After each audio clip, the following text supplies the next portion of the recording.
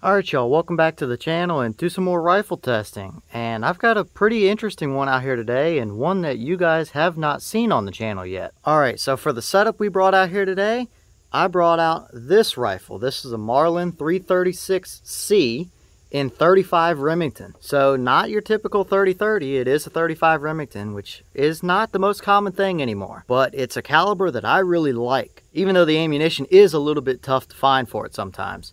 But up on top here is just a simple redhead 3 to 9 by 40 old school like Bass Pro Special. Nothing super amazing about it, but it does the job just fine. From the little bit that I have used that rifle, it's been a pretty good one. It is an original JM stamp, although it is towards the later years. It's early 2000s, I do believe. But I was able to take a deer with it last year, and it definitely knocked that doe down pretty quick. So I definitely want to do some more testing and hunting with that since it is a little bit different being a 35 Remington. And as for the loads we're going to be trying today, I think that in a little bit of testing that I've done that these are the loads that it tends to like a little bit. These are the Hornady Lever Evolution rounds. They are 200 grain FTX projectile and the box says up there that they're going 22-25. However, as you can probably see, I did mark the 2116 average on there from the last time I tested it last year. So I'd be curious to see if we hold up to about that average velocity or not. So as per usual with our rifle testing,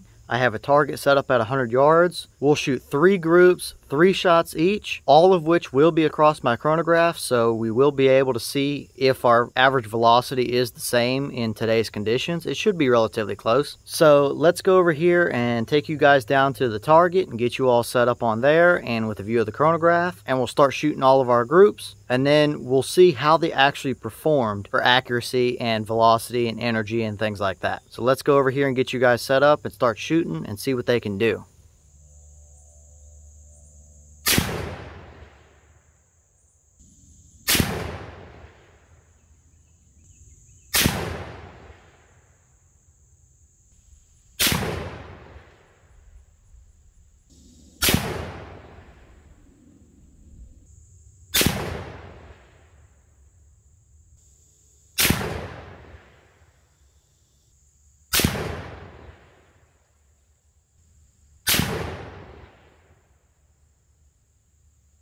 Alright, so we're now back here looking at our chronograph numbers, and I think right off the bat we were just a little bit faster than we were from what I just wrote on the box, but let's actually take a look at the numbers and see how they did.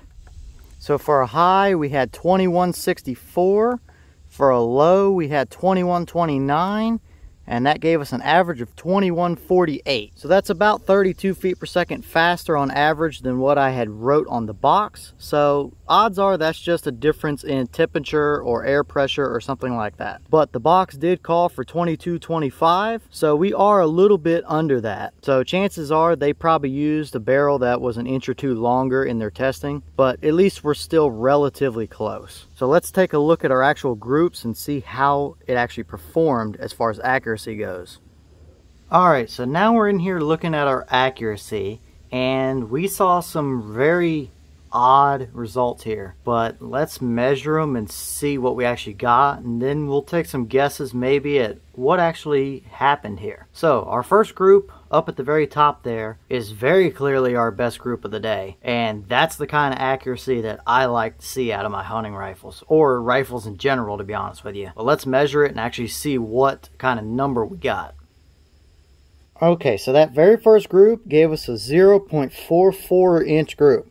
So we're under half an inch. I mean, those, all three of them are touching, and two of them are pretty much half and half overlapped into the same hole. So that's the kind of group that I really like to see right there. So we know that this rifle and ammo combination is definitely pretty decently accurate, at least by that group anyway. But what happened between that and our second group, I really don't know. But let's measure this second group over there in the bottom left and see what we actually got.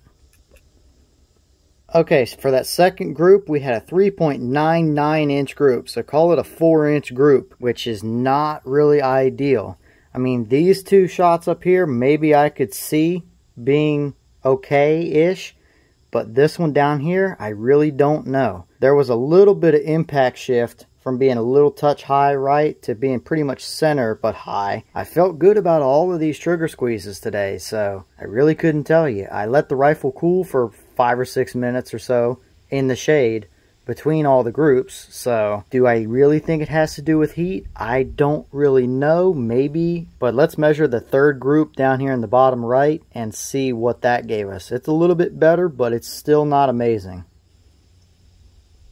Okay, for that third and final group, it gave us a 2.98 inch group, so call it a 3 inch group really. It's an inch better than our second group, but nowhere even close to our first group. And like I said a second ago, I let the rifle cool down. I felt good about all my trigger squeezes. So this is kind of interesting really. I, I did not expect it to open up quite like it did here. But at the very least, we know that this is at least capable of good accuracy. But I don't know, what do you guys think happened here or changed here? Do you think it had something to do with a little bit of residual heat? I don't know. I would have thought by the third shot up in the top group up there, our first group, that we would have noticed a little bit of heat effects starting to happen, but that's just not the case really. So I really don't know on this one. I'm plenty happy with that first group, but the second and third, not so much on this one. Alright y'all, so what did you think about how these performed? After seeing that first group, that's the kind of accuracy that I've seen out of this rifle before, so I figured we'd be in for a pretty decent looking test. But as we can clearly see, for one reason or another, these opened up pretty significantly. So after seeing that, what do you guys think? What changed? What happened? Anything. I felt good about all my shots and I let the rifle cool, so what do you guys think? And should we keep testing this rifle with some other potential ammo that I can find to see how it does with some other loadings. But on that note, I've got another test I want to run out here today for you guys, so stay tuned because we've got more coming. And with that being said, I'll see y'all in the next one.